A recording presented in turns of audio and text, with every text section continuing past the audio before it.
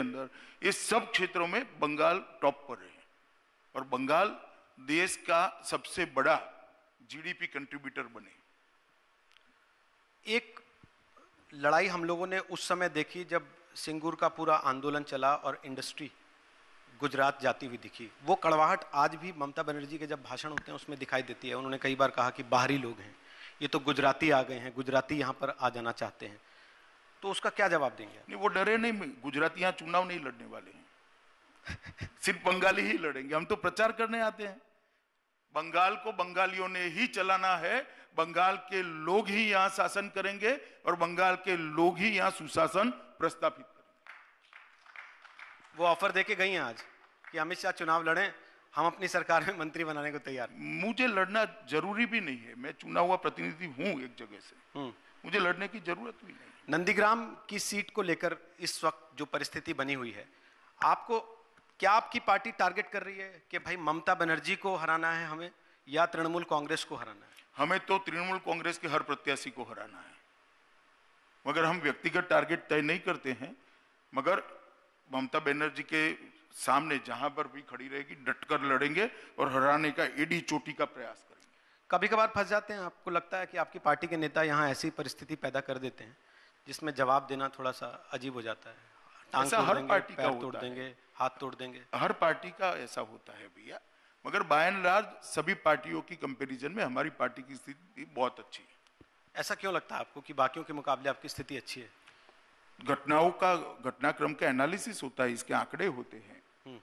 तो हम अच्छी स्थिति में कांग्रेस और लेफ़्ट दोनों मिलकर चुनाव लड़ेंगे ये उन्होंने तय कर लिया है। उनका मिलकर चुनाव लड़ना आपके लिए फ़ायदे का सौदा होगा घाटे का सौदा होगा या तृणमूल कांग्रेस के लिए फ़ायदे या घाटे का सौदा होगा?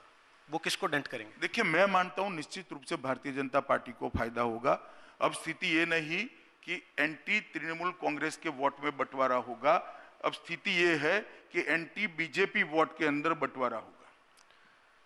आज इतफाक से जो पहला सत्र हुआ यहाँ पर वो बंगाल के राज्यपाल थे। और उन्होंने कानून व्यवस्था को लेकर कई सारे कड़े तीखे सवाल उठाए। ममता बनर्जी कहती हैं कि वो बीजेपी की भाषा बोलते हैं।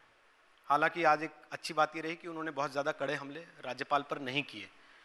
उसके बावजूद क्या आपको लगता है कि ऐसी परिस्थिति आती है बंगाल में या आ गई है कि यहाँ राष्ट्रपति शासन की नौबत है?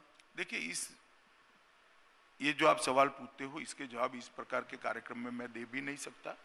मैं शपथ लिया हुआ व्यक्ति हूँ और मैं गंभीरता से मेरी शपथ का पालन करता हूँ। लेकिन लॉ एंड ऑर्डर की बात तो आप भी कह ही रहे हैं लगातार कि यहाँ लॉ एंड ऑर्डर खराब है। क्या ऐसा कहाँ कहा लॉ एंड ऑर्डर आप तो 356 की बात कर रहे हैं हम्म। राष्ट्रपति शासन की बात। नहीं मैं बतौर गृह मंत्री आपसे नहीं पूछ रहा हूँ। मैं बतौर बीजेपी के स्टार कैंपेनर जो आज यहाँ पर दो व्यक्ति है ही नहीं। अमित शाह एक ही होता है गृह मंत्री नाते और बीजेपी लीडर है नाते मैं जो मैंने संविधान की शपथ ली है इसको नहीं तोड़ सकते। तो आपने बाकी लोगों को ये छोड़ रखा है कहने के लिए कि तुम बोलते रहो राष्ट्रपति शासन मैं नहीं बोलूँगा। नहीं मुझे बोलना नहीं होता है डालना होता है।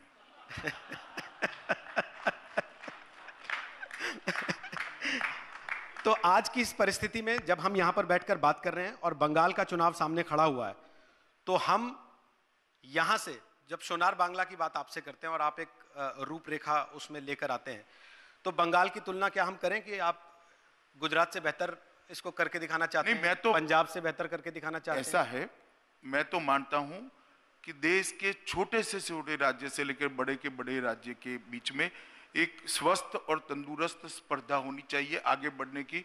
हर राज्य ने प्रयास करना चाहिए नंबर एक पर पहुँचने का बंगाल ने भी करना चाहिए तभी तो भारत आगे पहुंचेगा। सभी लोग एक हेल्दी कंपटीशन से आगे बढ़ने का प्रयास करेंगे तो आगे, मगर आगे कैसे बढ़ेंगे? यहाँ पर तीन चीज़ें हुई है ममता दीदी के शासन के अंदर। यहाँ पर एडमिनिस्ट्रेशन का टोटली पोलिटिसाइज किया गया एडमिनिस्ट्रेशन को।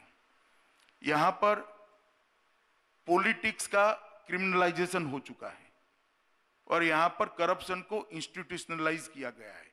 ये तीनों चीज़ों के रहते हुए मैं नहीं मानता कि बंगाल स्पर्धा में तेज़ी से आगे बढ़ सकता है।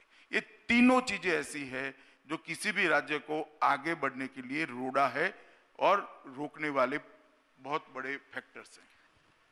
अब आप गुजरात मॉडल नहीं दिखाते कि गुजरात मॉडल है और ऐसा हम आपको बना के देंगे आगे आने वाले दिनों में अगर हमारी सरकार आएगी नहीं बंगाल बंगाल स्वतः ही एक मॉडल था पास्ट में।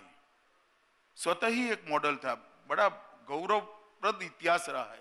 हम वहाँ पर भी पहुँचा पाए भारतीय जनता पार्टी के लोग तो हमें बहुत संतुष्टि होगी और मुझे भरोसा है कि वो रास्ते पर हम ज़रूर चढ़ पड़ेंगे, द्रुत गति से चढ़ेंगे, तेज़ी से चलेंगे। चुनाव